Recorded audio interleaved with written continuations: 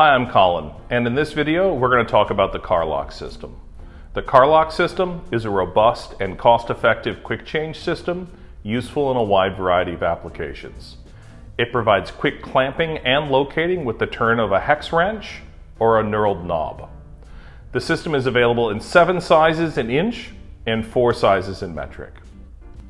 In order to provide clamping and locating, the system consists of three parts, a Carr Lock clamp, a liner bushing, and a receiver bushing.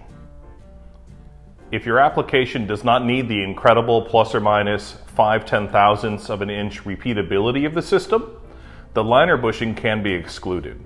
The Carr Lock clamp works by turning the clamping screw, which advances the center ball, pushing the three clamping balls outward. The clamping balls engage the angled ID section of the receiver bushing, pulling the clamp firmly downwards. In this application, the Carr Lock system is being used to quickly and accurately change vices onto a machine table. Rather than using an actual diamond pin, the system uses a high tolerance and low tolerance liner bushing.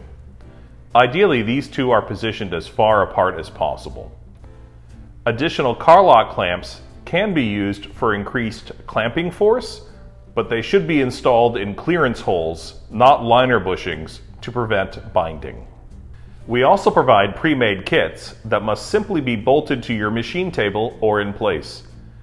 They include a subplate, Carr Lock fixture plates with the primary and secondary liner bushings installed, and Carr Lock clamps.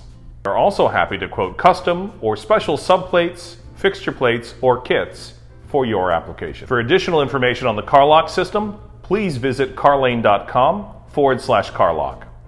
Thanks for watching the video today. If you liked it, please remember to like and subscribe.